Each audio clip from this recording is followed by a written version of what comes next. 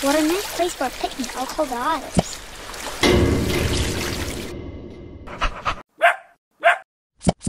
Hey guys, I found a place for the picnic. Wow!